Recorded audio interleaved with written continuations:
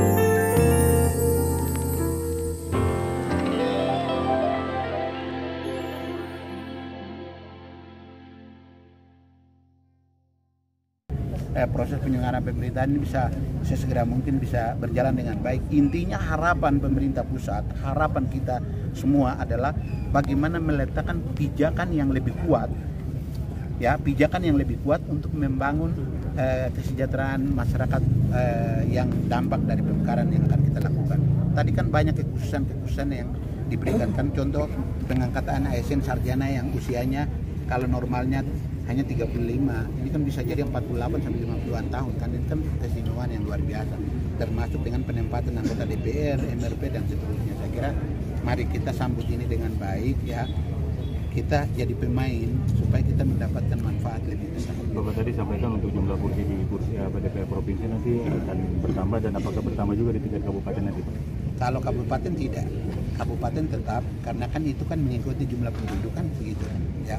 Kalau provinsi itu estimasinya katakanlah di wilayah pegunungan Papua ini 34 eh 35 eh 45 45 itu eh, sepertinya di luar dari jatah otsus gitu ya.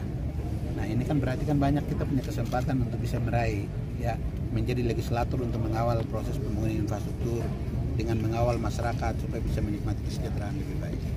Bapak apa harapan Bapak terkait top di wilayah pegunungan? Harap, jangan harapan saya, harapan pemerintah gitu ya.